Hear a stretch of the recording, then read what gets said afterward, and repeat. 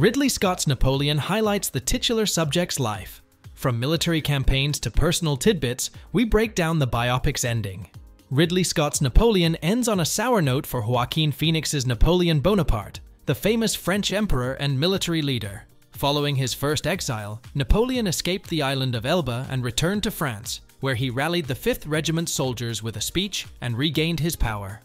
In the 100 days following Napoleon's return to France, the military leader attempted to thwart the British and Prussian armies during the Battle of Waterloo, but his army was no match against them. The British army held their own in the fight, while the Prussian army flanked the French on the right side. Defeated, Napoleon abdicated for a second time, after realizing he no longer had the same support. Before he was exiled again, Napoleon went to see Empress Josephine, who had fallen ill shortly before his arrival and passed away in his absence. Napoleon had hoped to see her, and despite being unwell, Josephine expressed a desire to see Napoleon despite their complicated relationship.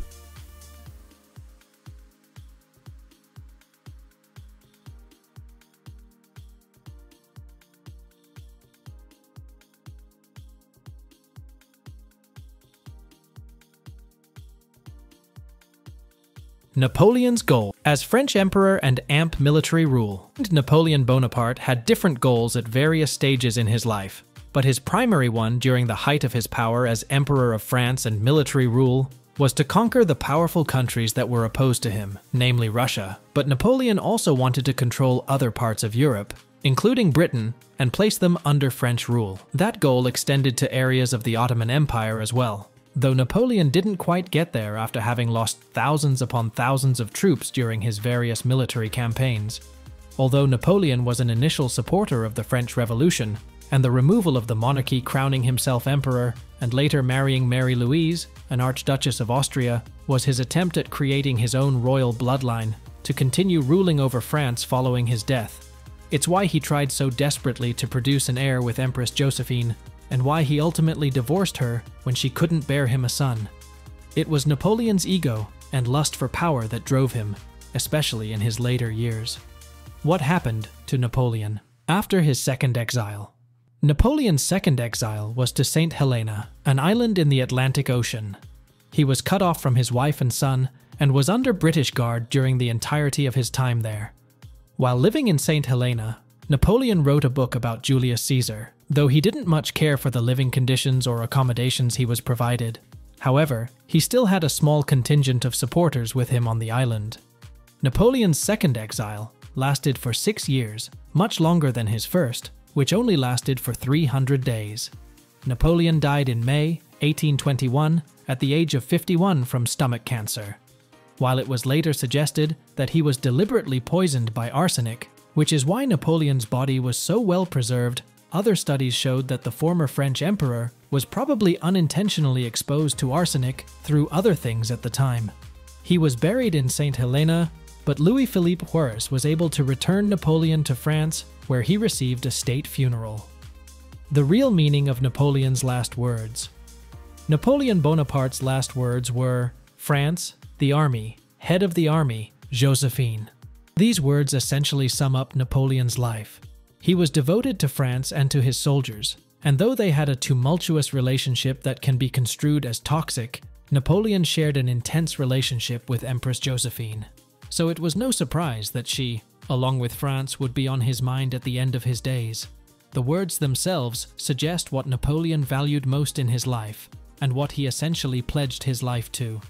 Before his death, Napoleon was also delirious and claimed to have seen Josephine. A few days before he died, Napoleon confessed and received absolution from Abbe Vignali, a representative of the Pope. To that end, it's possible Napoleon's last words alluded to a deep regret that he could only acknowledge right before his death. Perhaps it was regret regarding the way he handled his rule of France and the wars, or the way he treated Josephine. Regardless, Napoleon's final words spoke to the very things that were most central to his life and which he dedicated himself to while he was alive. How Napoleon returns to power after his first exile.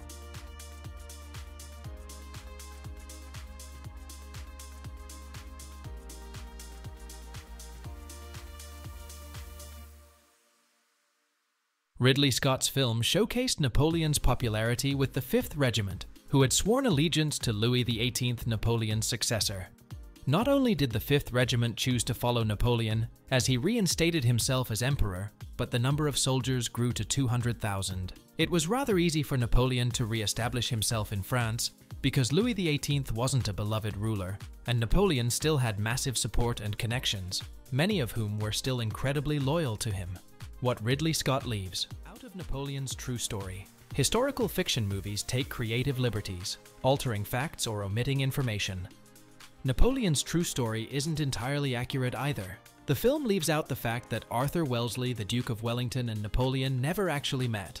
Napoleon also had plenty of affairs and several illegitimate children while married to Empress Josephine. The film only includes one of his mistresses and his second marriage. Napoleon was also not at Marie Antoinette's beheading.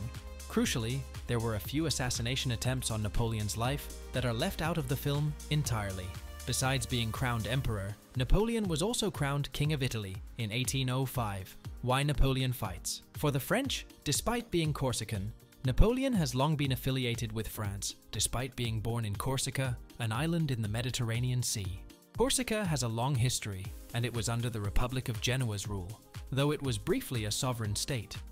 Napoleon was considered French because he was born just one year after Genoa ceded Corsica to France in 1768. While Napoleon's parents fought against France to maintain Corsica's independence, and his family were descendants of Italian nobility, Napoleon considered himself French later in life and supported the French Revolution against the monarchy. In his early years, however, Napoleon identified as Corsican and even wanted to fight against the French occupation. Napoleon's legacy and AMP, the impact of his rule over France, Napoleon's legacy is a mixed bag. On one hand, he created civil codes that were influenced by the French Revolution, which pushed other parts of Europe towards revolution. The Napoleonic Code also reformed the French legal system, which previously did not have a concrete set of laws for citizens.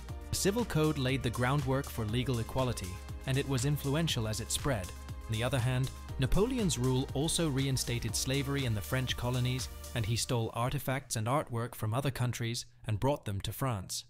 Napoleon also rattled France's economy, and his multiple military campaigns killed millions.